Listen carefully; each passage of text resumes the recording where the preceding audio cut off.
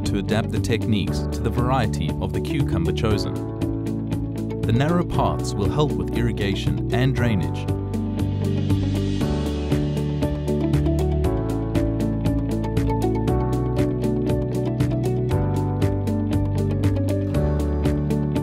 Place one seed per hole and don't sow too deep. The depth equals the size of two seeds.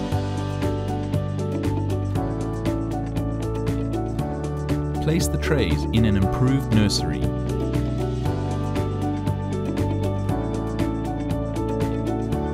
Ensure good ventilation and maintain constant moisture.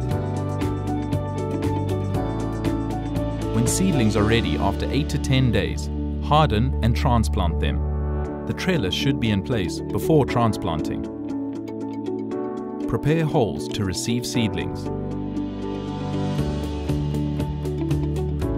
Place insecticide in the holes if needed.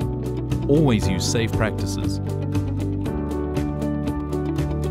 Transplant the seedlings at a suitable height, not too deep and not too shallow. Space the plants 50 centimeters apart in one or two rows per bed, depending on variety specifications. Water after transplanting. Apply fertilizers regularly in small quantities at the tip of the root. Follow the recommendations provided in our cucumber crop guide. Regularly observe the field. To prevent infection from spreading, always remove sick plants and weeds. Some varieties will need help with vine training. Prune the vine of old leaves. It will improve ventilation and decrease disease problems. If problems are observed, discuss with local experts to find the best solutions. Refer to our crop guide. Water regularly.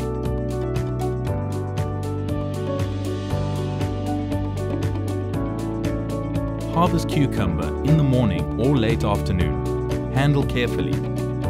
Place the harvest in a shadowed, well-ventilated area